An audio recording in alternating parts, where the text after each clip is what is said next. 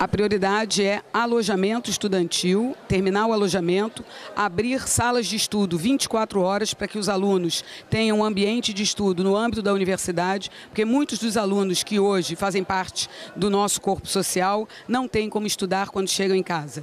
E a terceira prioridade será a implantação de redes sem fio de qualidade em todos os campi. Temos como proposta criar uma pró-reitoria de políticas estudantis. Entendemos que é mais do que assistência, é um conjunto de de medidas. Nós temos alguns eixos gerais na nossa gestão. Um primeiro grande eixo diz respeito ao fortalecimento do setor de infraestrutura. Avaliamos que a situação é muito grave na universidade. Temos também como proposta uma assessoria jurídica própria, de modo que a universidade possa ter uma interação com os órgãos de controle, na elaboração de contratos, etc., de forma segura juridicamente.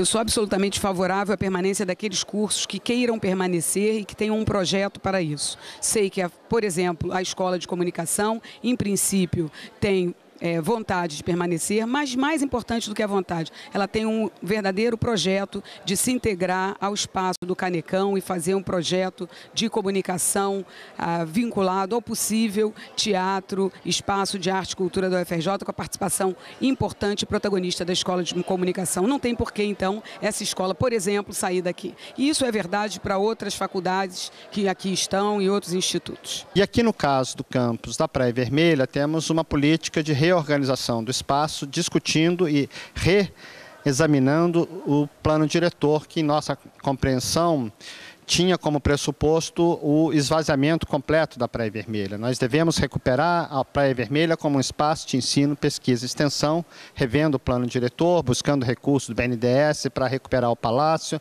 É inadmissível que estejamos há tantos anos com todos na capela, enfim.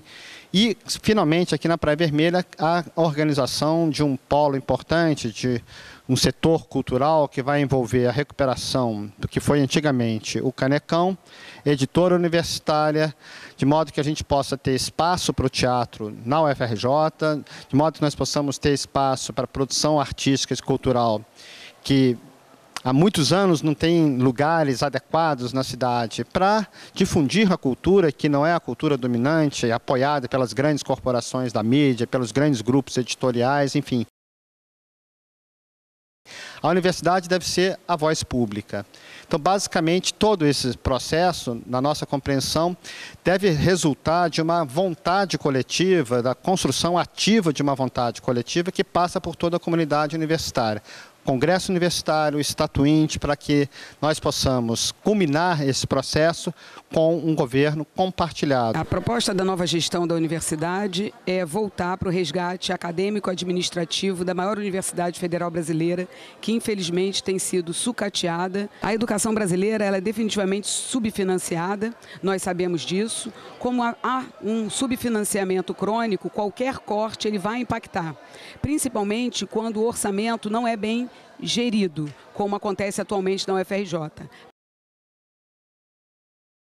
Apesar do aumento importante do orçamento nos últimos anos, especificamente na última década, a UFRJ não se transformou, não houve melhoria de infraestrutura de salas de aula, não houve é, criação de mais vagas na residência estudantil e muito menos restaurantes universitários. É por isso a reitoria que deve assumir agora em 2015 deve ser uma reitoria forte e que seja capaz de uma interlocução protagonizando o que a UFRJ quer, o que a Universidade Federal do Rio de Janeiro pretende. Bandejão é prioridade, porque é parte de uma concepção universal de assistência estudantil, de política estudantil. É para todos os estudantes, todos os estudantes precisam se alimentar adequadamente para poderem ficar o dia inteiro na universidade, se possível, vivendo a universidade.